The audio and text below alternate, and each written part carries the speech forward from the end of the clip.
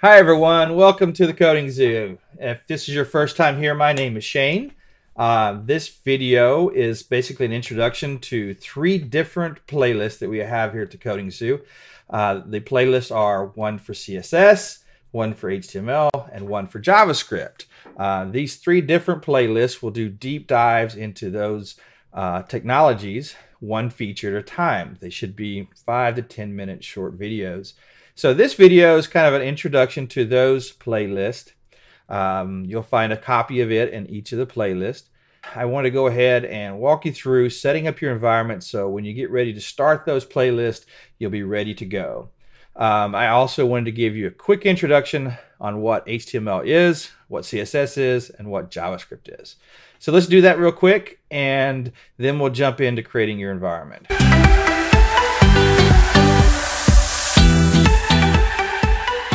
So let me bring up um, my browser here. So let me go to my desktop, and I'm going to open up this Coding Zoo folder, and I'm going to open up this index.html file. Okay, so as you can see here on my screen, I have this basic HTML file. HTML basically stands for Hypertext Markup Language. Uh, what that means is that it basically is a way to describe data, to, to mark it up to where uh, you're describing data. So HTML was invented uh, to send data across the internet and to provide um, tags or elements that describes that data, that marks it up and explains what that data is. So if I look at this index.html page, um, I have some basic data on the screen. Uh, I've got a title here, another title, and, and a couple of sentences, right? If I go to the code for this, go to index.html, right click, choose edit with notepad++. If you look at this code, you'll see that I have HTML and I have these tags, these elements around my data. For example, this H2 tag is around the lesson will explain the difference in the two. So H2 is basically just an element that describes the data. It's not really, uh, these tags aren't really meant to be for uh, changing the look and feel, although the, some of the tags will do that with the browsers, but the main purpose is to actually uh, explain what the data is. We should use HTML for just describing the data. If we go over to our style sheets, which is called CSS, cascading style sheets. Cascading style sheets is what we should use to actually change the look and feel of our data. It's what marks the data up to uh, look differently or be rearranged differently uh, or change the color, uh, change the darkness. That's what cascading style sheets are for. Style sheets are for changing the look and feel. So HTML is for transferring the data and describing it. Style sheets is for changing the look and feel of the data once you've transferred it. And next you have JavaScript. Well, if I go back to this index page here, you'll see that I have some JavaScript at the very top with this function called chain CSS. Well, JavaScript is a way uh, to make your HTML document have behavior, to make it do something.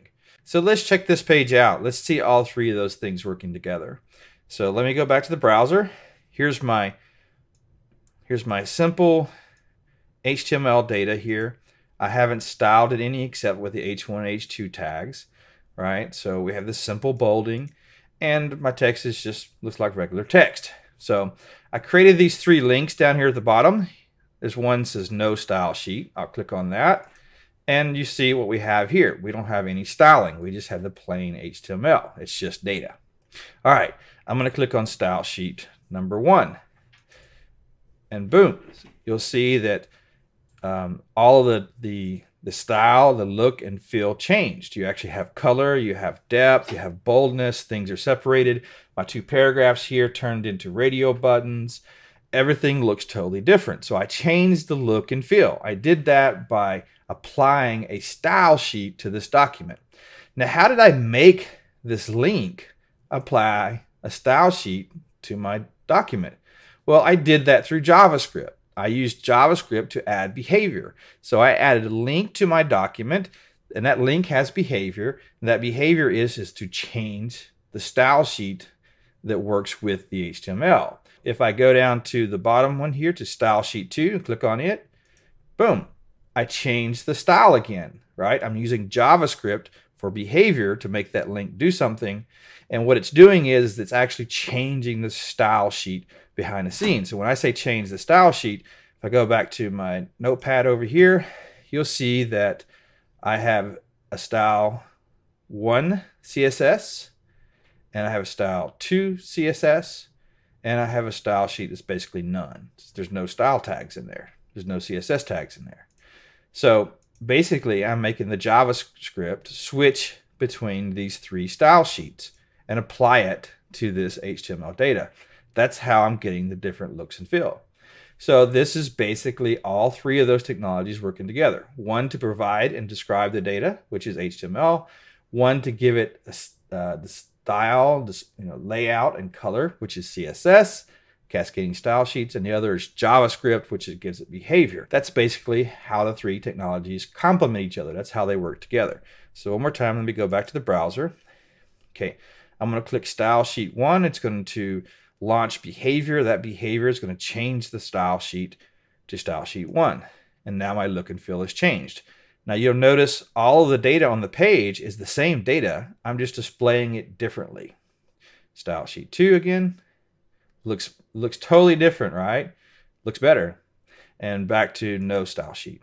And there's my just my plain HTML. So hopefully that makes sense. Uh, if you have any questions, let me know. Uh, just drop me a message below. Uh, let's jump into uh, actually creating our environment.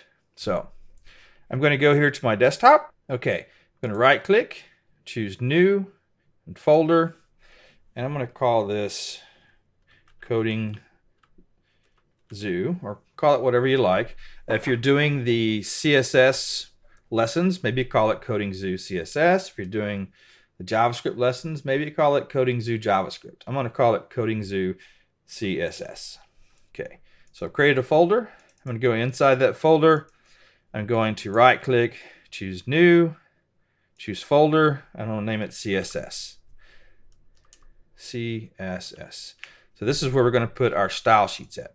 I'm going to right click, choose new, to folder. I'm going to name it JavaScript or JS. Let's use JS. One more time. Oh, that's it let's right click and choose new and choose text document. Um, and let's create an index.html.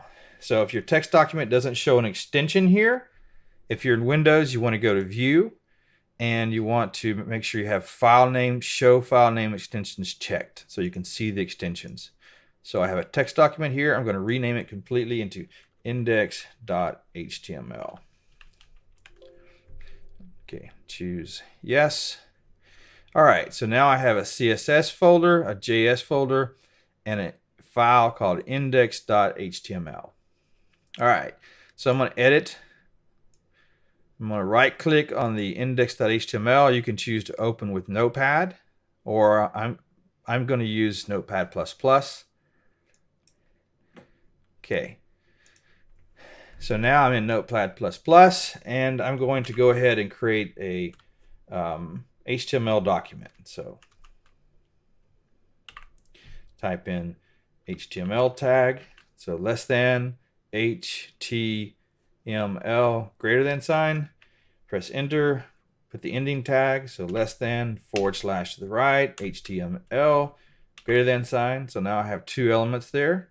I'm to go back underneath the HTML tag, tab out. I'm going to type in less than H-E-A-D for head and less than forward slash H-E-A-D to end that. And then I'm to go down to the next row and I'm to type in less than and the body element. So B-O-D-Y greater than, and then I'm going to close it off. So less than forward slash B-O-D-Y and then greater than. So now I have a head section, a body section, and an HTML section. Okay. So next thing I'm going to do is go over and to the head. And in the head, I am going to link. I'm going to put my cursor between the two tags and the head element. Press enter. I'm going to add a line in between those two uh, tags. And I'm going to add a link tag. So less than L-I-N-K.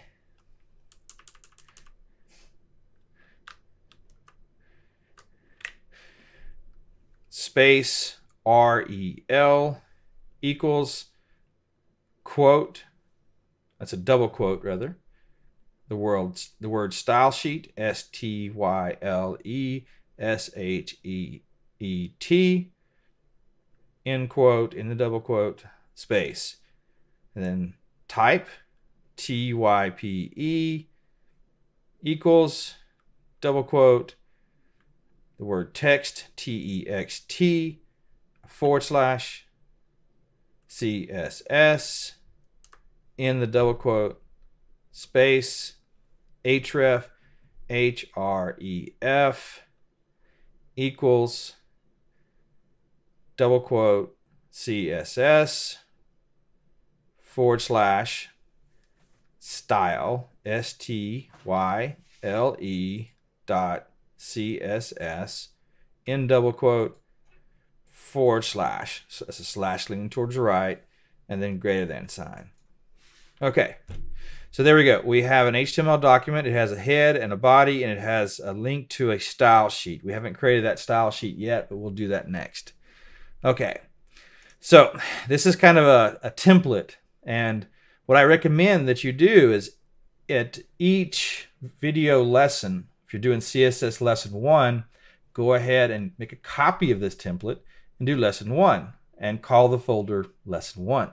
If you're doing lesson two, go ahead and copy the folder and call it lesson two.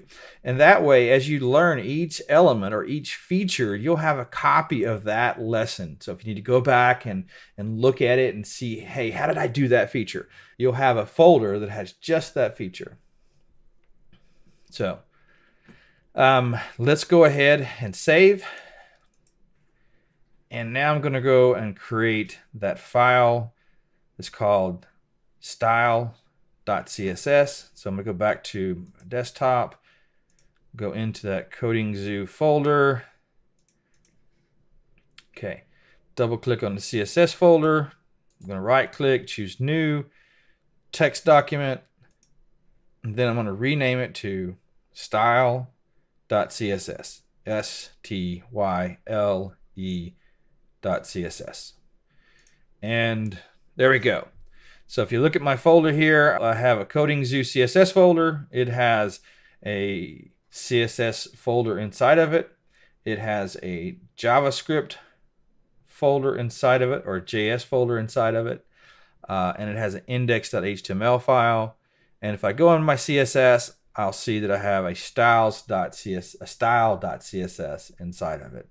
Um, so that's that's my template. Now, when we get into the JavaScript, if you're in the JavaScript videos uh, series, we'll go ahead and actually put a file in that JavaScript folder. Um, so this is your template.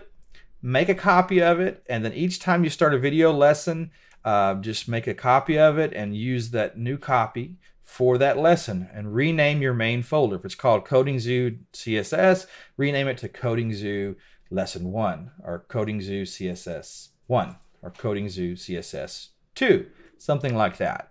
And that way you'll always have a backup of each lesson. You can go back and see how you did that feature. Okay, so that's covered. If you have any questions, um, any comments, leave them below. If you like this video, go ahead and click like. If you haven't subscribed already, go ahead and click the subscribe button and the bell and we'll let you know when new videos come out. We hope you enjoy the series. We're always open to uh, making it better. So we'd love your feedback. Come back and see us. We'll talk to you next time. Bye.